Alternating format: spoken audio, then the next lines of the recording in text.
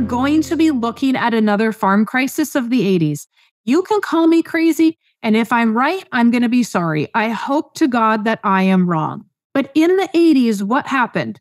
Banks came in and said, you know what? You can't make that land payment. That's okay, Mr. Farmer. We're just going to refinance that for you at 20% interest. Instead of working with the current loan rate of seven or eight, we're going to just refinance that to 20%. Well, Mr. Farmer said, Mr. Banker, I can't pay the interest on that. Well, Mr. Banker says, that's not my problem. I guess we're going to have to sell your land. I had a lovely gentleman that I talked to, and he is upside down on his payment due to drought in his area. So he has to sell some land. He has to put $400,000 down on his land loan when he sells the land. Then the bank should just go in, recalculate that payment, lower his payment. All should be good in the world of banking, right?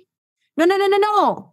They told him, as soon as you put that $400,000 down on that note, we are then going to refinance it to calculate your new payment at 1% higher than what you currently have. Sounds to me like the start of the 80s farm crisis again, does it not?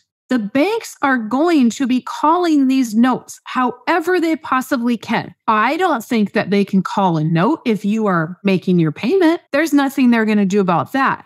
But the second that you get behind, they're going to find some super creative way to increase that rate. It's not necessarily crooked banking, it is banking.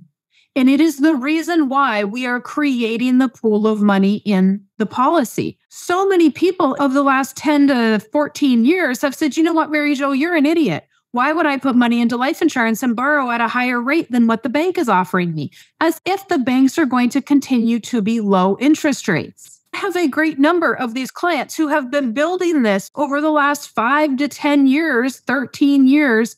And all of a sudden now the interest rate has shifted and it has given us the ability to borrow money from the company at anywhere between 4% to 5.28% today so that we can access that money cheaper through the policy.